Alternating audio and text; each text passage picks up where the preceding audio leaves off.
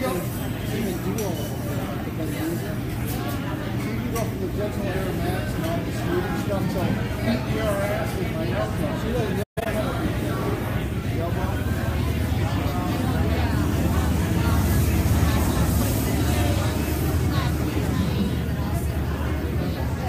Hiya, good evening everyone. Hello. Welcome everybody to the UA Science Cafe here at Borderlands. I am Nicole Leitner and I facilitate the Science Cafe at this location. So how many of you have come to this cafe here before and previously? I was extremely. She goes, you want to stop? I go, And how many of you are "No, new?" it's a joy. Keep it going." Well, to everyone, welcome, and to everyone who's returning, welcome back. We're glad to have you. We are kicking off our fall series here tonight with a great talk on Zika virus transmission. And just to let you know, these science cafes are brought to you by the University of Arizona College of Science and are completely free to the public. And we actually have four separate cafes at four different locations around Tucson, each with a different theme for fascinating science discussions that are led by University of Arizona uh, faculty, in this case graduate students. And these are all described in our Science Cafe brochures, which are passed out around the table. So please take them home. They have the schedules for all of our locations. I also want to bring to your attention the other brochures that out on the table of our College of Science outreach facilities, like Landrow Science Center, the Mirror Lab, Biosphere 2. Has anyone been those? Well, uh, yeah, so please take home those brochures uh, to get more information on how to visit those. They're fun for friends and family. And before we get to our uh, talk, I would first like to thank Borderlands, Borderlands owner Mike Pelosi,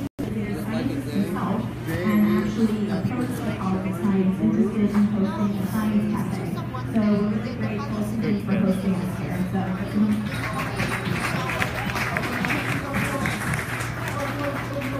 Alrighty. So here at Borderlands, we feature uh, fellows in the Carson Scholarship Program. This program is part of the University of Arizona Institute of the Environment and it efforts to support graduate students who focus on environmentally related research and they work to communicate this research to the public.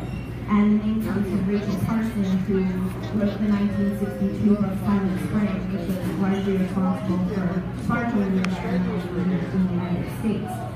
And this season, our theme is aquifers, biology and issues in conservation, where we will explore the of talks a wide range of environmental conservation issues from preventing epidemics uh, to establishing sustainable water sources, from to predicting climate change. And tonight, our speaker is Genevieve Tomo.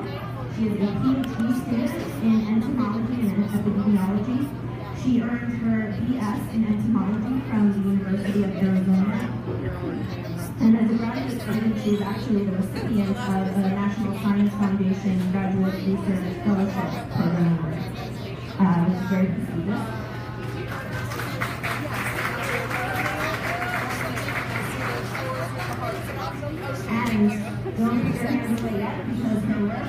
Also recently published in Kerrang magazine, so she's recently published.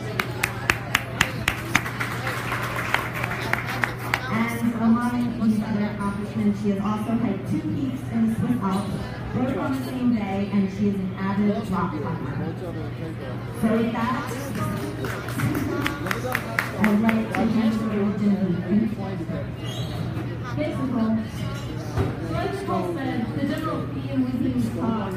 Is conservation. And to me, conservation is all about balance.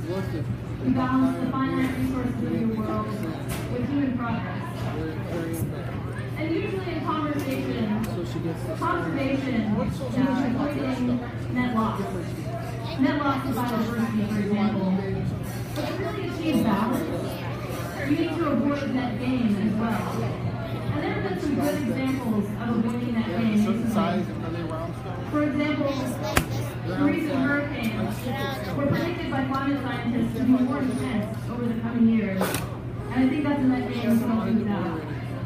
And so today, I'm going to talk to you about another thing that we've seen that came in recently that we don't necessarily want. And that's emerging infectious diseases. One in particular is Zika virus. You guys, you guys do me a favor.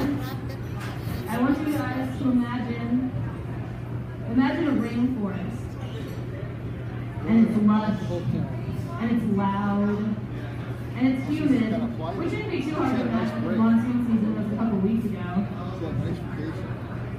But this forest is different. This forest is for viral research. Hey Genevieve, how do you use a forest for viral research? Well, it turns out that a lot of human diseases maintain themselves in forests between outbreaks.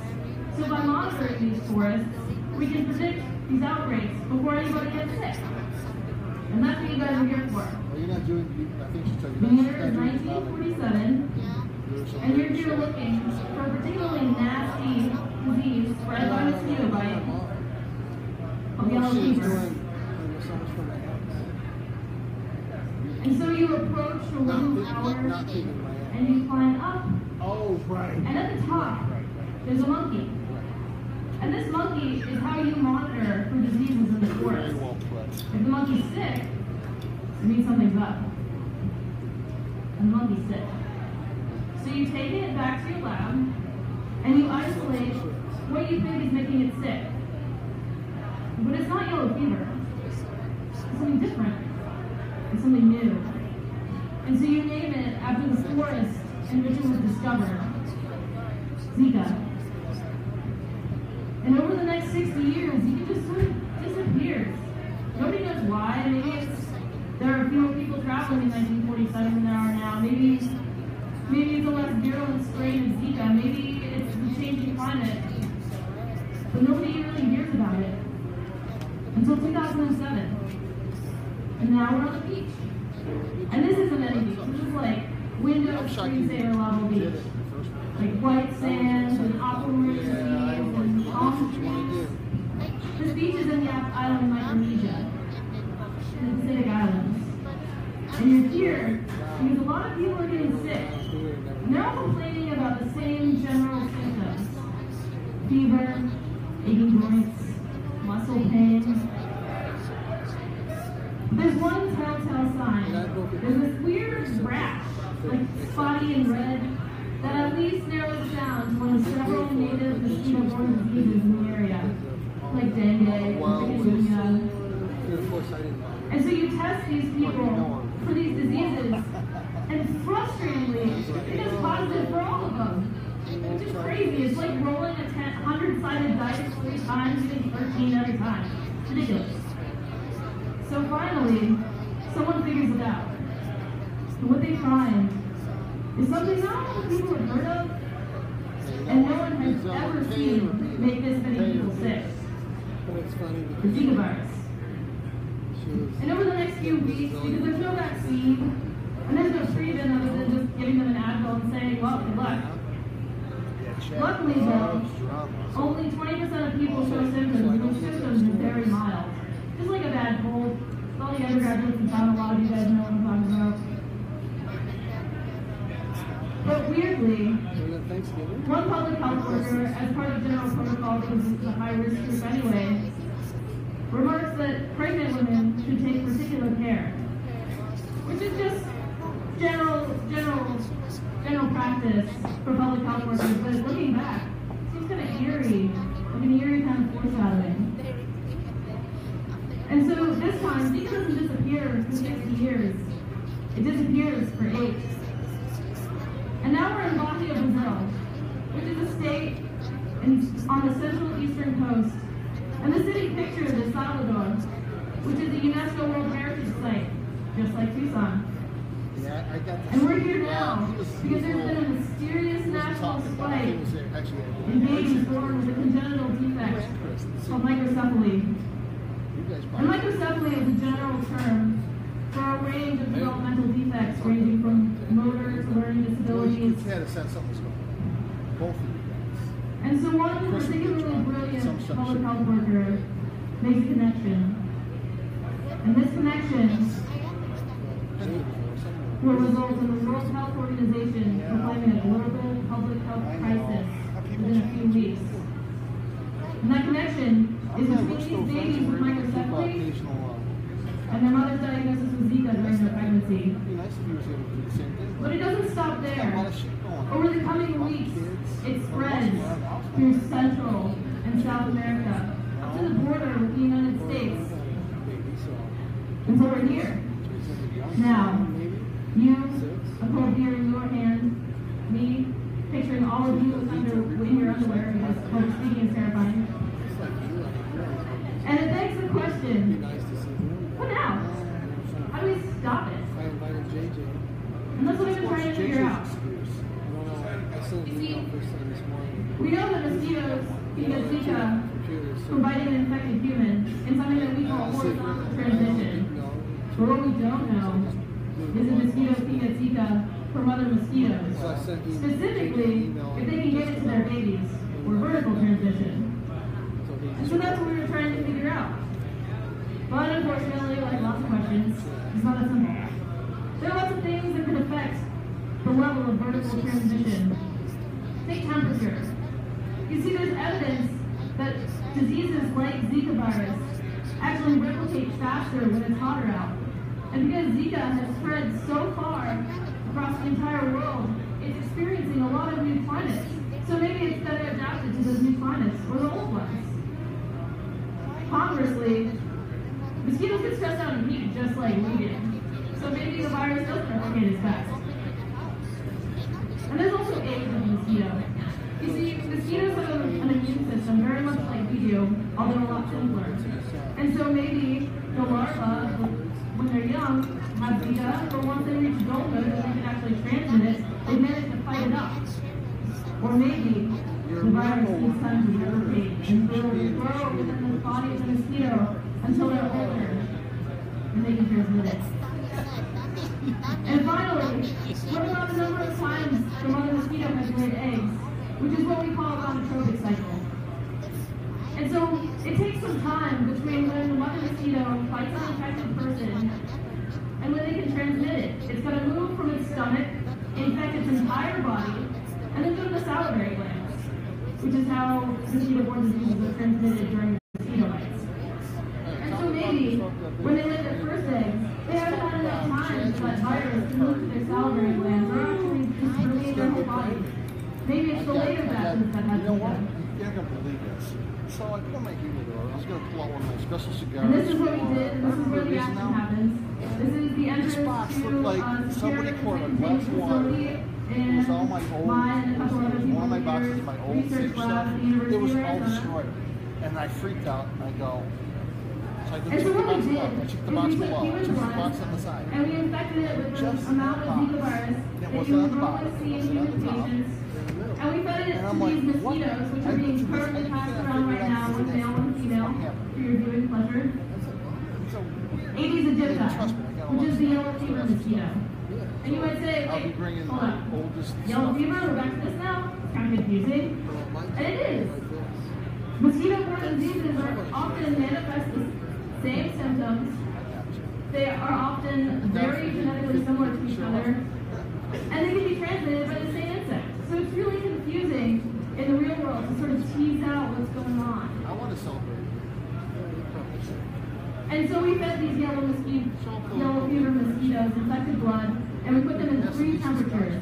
27 degrees Celsius, which corresponds to about 81 degrees Fahrenheit, 30 degrees Celsius, which is about 86, and 91, which is about I don't even know if I want to see that. 33 degrees Celsius. So, so that's why And then we let these ladies lay eggs three times, and we reared these eggs into adulthood.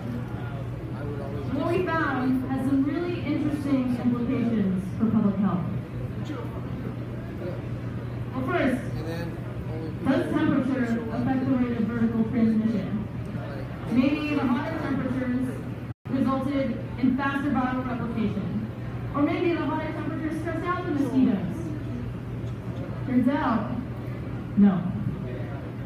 But what about age? Did the younger mosquitoes manage to fight off the virus? Or did the virus overcome their immune system slowly? No. And what about egg cycle? Did those first eggs have less virus than the later ones? That's a big fat no. But what we did find was an overall transmission rate independent of temperature or age or egg cycle go to uh, of 4.2%. October 30th. I'll And this is important for several reasons. First. It means that usually in horizontal transmission, the mother mosquito has to bite an infected person, and then a lot of time passes between then and when they can transmit the virus. And instead, imagine if a mosquito could transmit Zika to the first person that they bite. And this is also important because of the big global outbreak. Zika is now in all these places that it's never been before. And so, normally in the winter, with these mosquito-borne diseases, there's less people to bite, and there's fewer mosquitoes to do the biting. And so when you get these big outbreaks, they can die down and go back to where they came from.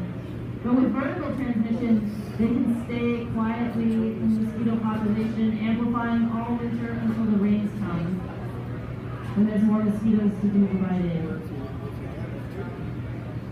And now 4.2% seems kind of small, but if you think about it, mosquitoes can lay 1 to 200 eggs per batch, and about 5 batches over the course of their life. Well, that's a pretty lucky mosquito, especially in the wild. And so let's just imagine that, two, that a mosquito lays 200 eggs during the course of her life. That means 8 of her babies, when they hatch, are ready to transmit Zika to the first person that they bite. And think about how many mosquitoes you've seen just this summer. So what does that mean for us here in Tucson? Well, we're right next to the border with Sonora, Mexico, which has had Zika virus in their native mosquito population since about October 2016. can do my physical. However, Tucson is also very dry. It's a lot wetter than the other places that we've seen Zika transmission in the United States, like Florida and Texas. And so because we don't have Zika here currently in the mosquito population, the probability of you getting Zika is pretty low. But there are ways that you can take that probability down to pretty much zero. I've been losing weight. I don't And it's all about prevention. Because of that. There's only two ways that you can get Zika. One is for sexual transmission. So if your special someone has traveled to somewhere like Central America or South America with a with a high rate of Zika, use protection for a couple months. And the other way is to be by the mosquito that we're passing around right now, Aedes aegypti. Now, Aedes aegypti likes to bite at dusk and dawn. And it likes to target your extremities, like your forearms and your ankles. And so by wearing long sleeves and using deep-based repellent, you can prevent getting bitten. But there's one thing you can do that's more important than anything else. And it all comes back to that idea of negative conservation. So, so what did I do? You can eliminate your habitat. What are you at? 245? See, Aedes aegypti breeds in small pools of standing water. Pools that gather in flower pots or children's toys that have been abandoned in the yard. And so by just flipping them over and taking them inside, I was 256. you can make sure that the mosquitoes that are born to be bad Lost 20 pounds. don't get born at all. And so before I take your questions, I just wanted to plug something really awesome. It's the Ari- Arizona Insect Festival. It's happening on Sunday, October 1st. And, and it's gonna have a, a bunch of really awesome talks from people who are much smarter and more attractive than me. And some cool hands-on things. And it's a free event. Like, what, work- what work do you want? If you're interested, there are flyers over here. And if you're super duper interested, we can always use more volunteers. Anyway, uh, so I was gonna, I filmed a short film over the summer, and a bunch of people here helped out, but the sound isn't working. So I'm gonna be showing it at the Loft First Friday Film Shorts in November. I hope you guys can make it. We all worked really hard on it. Thank you.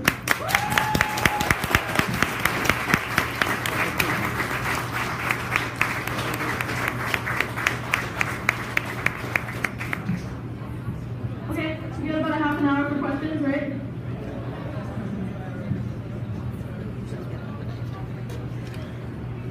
No, it's not. I'm not kidding.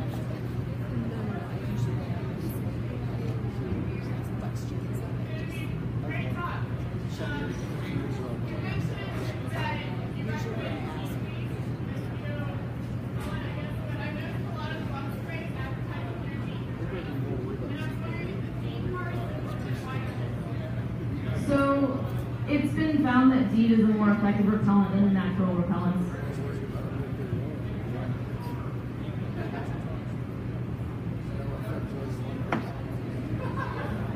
Man with the front. What is the pathway for the transmission from the mother to the eggs? Uh, it's transovarial, so when the eggs are passing through the genital tract, that's when they get it.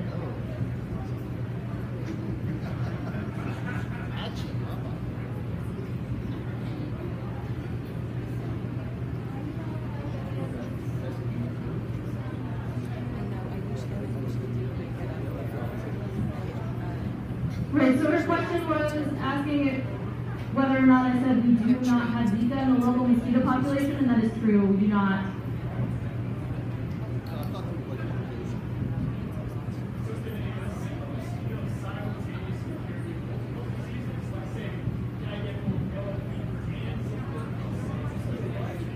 So Alan's question was, can a mosquito carry multiple diseases?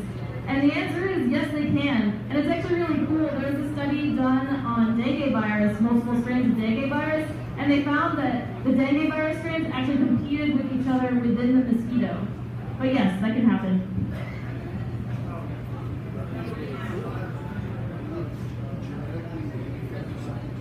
So his question was, are they working on a vaccine? And the answer is yes, they are. Uh, an Indian company was developing one a while ago, and then it kind of got scooped up by a Canadian and American company working in tandem with each other. And they think that they should be going to.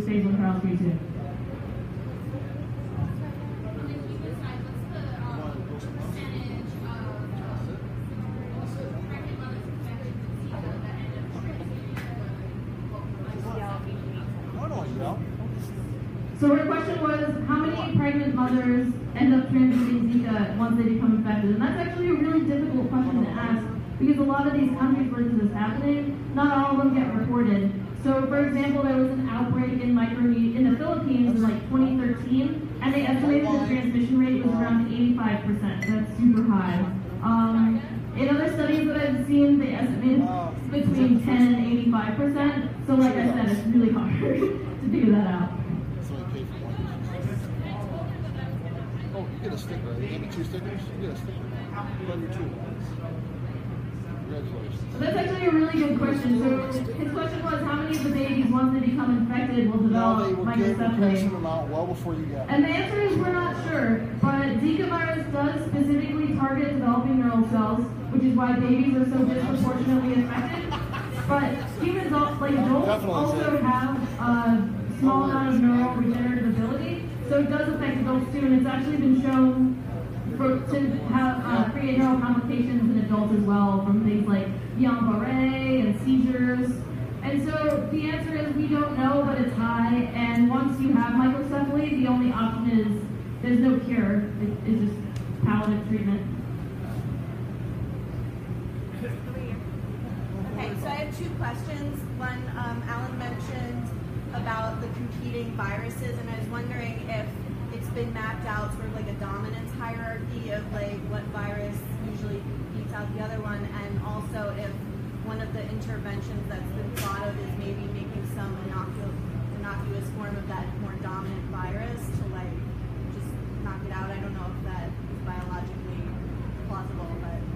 All right, so she had a two-part question. One, if there was a hierarchy of viruses within mosquitoes, and two, if we could potentially inoculate them with a more virulent virus. So, I'm not sure, but I don't think so. To your first question, as to whether there's a hierarchy, there's only a, there's only been a couple studies done on uh, competing viruses. As for your second question, there's a lot of ethical tangles involved with infecting a mosquito with a, a virus. And I think that might be more of a case of like throwing the baby out with the bathwater. And it'd be really hard to convince that I should do that. Fair enough. All three together? Hey, let me take my one dollar off my beer because I just got something. Recently, I heard that there's been some research in looking at Zika's possible, possible role of uh, treating uh, Yeah, I got a cancer. dollar off my next plane because I logged Developing in. targets. Uh, Ticket. Developing neural cells. Sure. do you think we could take this and turn it into something that we actually been I think it's cool. Um, I mean, it's a it's a virus, so when you're talking about transgenic organisms, right? Like the smaller the genome, the easier it is to work with. The less things can go wrong, like less random elements are in there. So yeah, It's an that's extra kind dollar of for cool. you, basically. So, give you a reason. Yeah, I don't know if it actually. Oh, yeah. Error occurred. Oh, that's great. Nice app. Sorry. Uh, so your question was what sort of actions are being taken to educate at-risk communities? And there's, I'm sure it's, when there's an outbreak, there's a couple things happen. They usually work with the local public health agencies to run ad campaigns. Like, I don't know if you guys have driven down by the airport, but there's a big billboard that says, "Look out for mosquitoes; they transmit dengue." Right? And so it's things like that. Um, there's also public, many public health workers went to these at-risk areas and went door to door and asked people questions. And skull, sugar skulls is really thick. yeah, so it's just community outreach, and then they talk to the doctors and have the doctors inform their patients as well. Hey, do you happen to know what the timeline is? When a black mosquito is exposed to malaria and when it becomes infectious? Hmm, well, yeah, so we're actually working on that in our lab right now, and Dr. Robbie Zina actually is, uh, About three days. So be scared. yeah, so anywhere from three to seven days, but three days is the top end of that. Anyway. Yeah, so that's actually one thing we're working on in our lab right now. The question was how long between when a mosquito bites an infected person and when they can become infectious. And so that's the timeline between when the infected blood moves from their stomach to their salivary glands.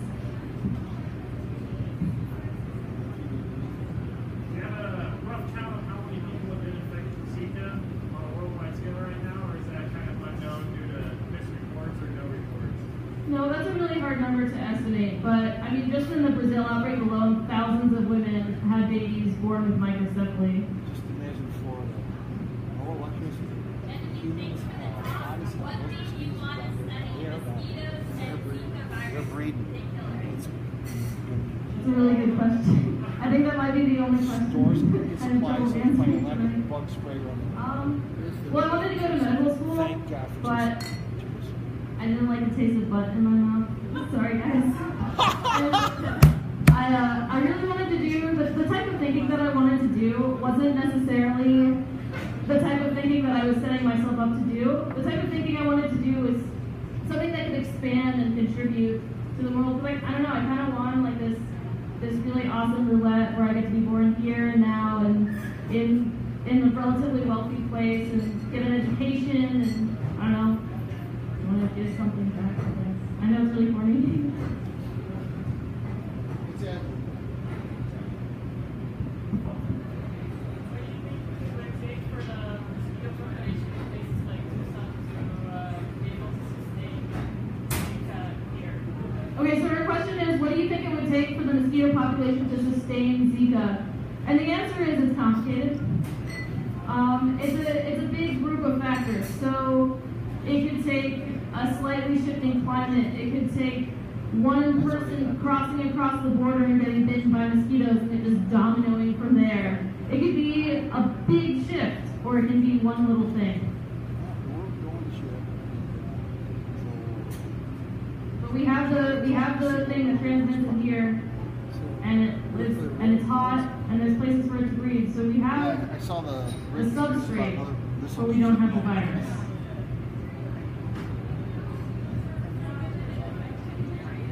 That we hopefully have some operational protection in place that ships that's the thing.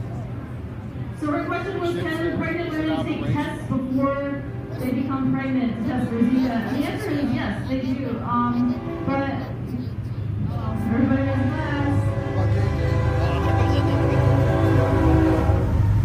Here's What about JJ? yeah. So they do have haven't seen in a tests. long time either. But like I mentioned in my talk, they can cross-react with other mosquito-borne diseases.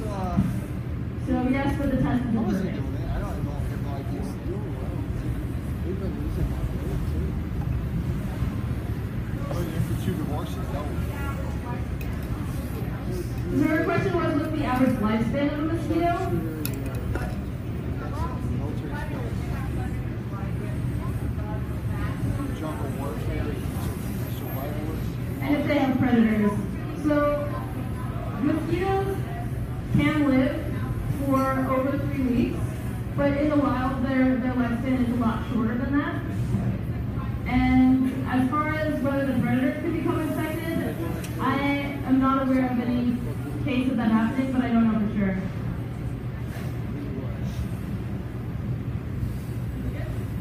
Alright, I got time for more question.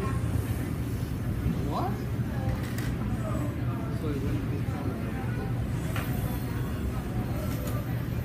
Psycho killer.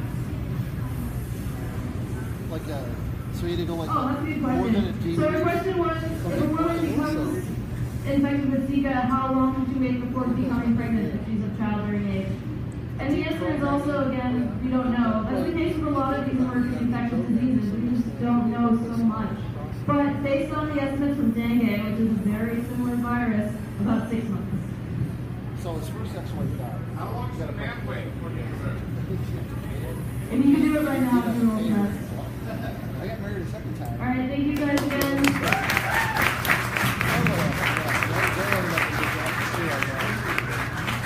Last time I was out with my travel, he was extremely aggressive. I mean, uncomfortably aggressive. Hello again. Never Um, come if close. you have any lingering questions, Susie will be around. You can ask her one-on-one. She's happy to talk about it. I just wanted to let you know about the next talk next month. It is on the 12th, again at 6 p.m. And it, the topic is water desalination using high concentration voltaics, water, energy, and food security for under, uh, underserved populations in the most arid regions of the world by Rodolfo Peon, a PhD student in arid lands uh, resource scientist. So please join us. And